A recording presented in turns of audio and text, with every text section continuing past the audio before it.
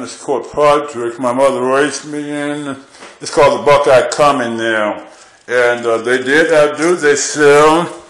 And uh, expensive. Uh, this is the uh, nice expensive ceiling things in the room.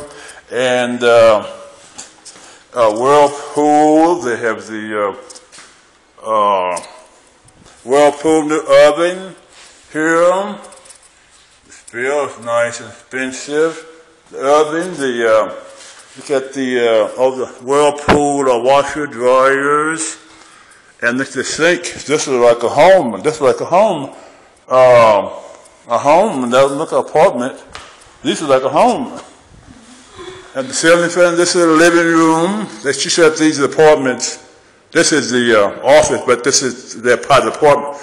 The nice ceiling fan. This is why I stay at Hidden Ridge down San Antonio. It looks that ceiling fan is way more expensive. This is way more Hidden Ridge over there with Dow Sound Authority over there. Uh, but anyway, uh, so that's, uh, what else is, uh,